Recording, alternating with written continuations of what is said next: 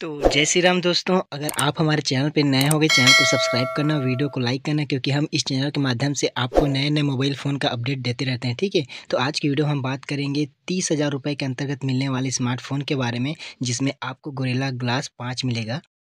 दोस्तों, आपको ये जो सैमसंग मोबाइल फ़ोन मिलेगा, इसमें आपको मेटल फ्रेम मिलेगा और ये जो मोबाइल फ़ोन है, आपको दो सौ दस ग्राम का मिलेगा।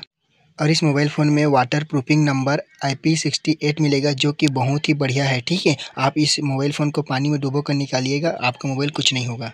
इस मोबाइल फ़ोन में आपको 6.4 इंच का डिस्प्ले मिलेगा, जिसमें 125 हर्टेज और full H D plus two X और AMOLED display H D R ten plus के साथ मिलेगा, जो कि बहुत ही बढ़िया है। कम रेंज में एक अच्छा क्वालिटी का डिस्प्ले मिलेगा।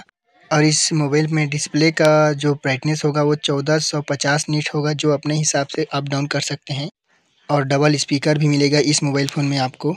दोस्तों, ये जो मोबाइल फ़ोन है, जिसमें आपको चार से पाँच साल के लिए अपडेट मिलेगा, जो कि एक सिक्योरिटी अपडेट के साथ साथ आपको एक मेजर अपडेट भी देगा।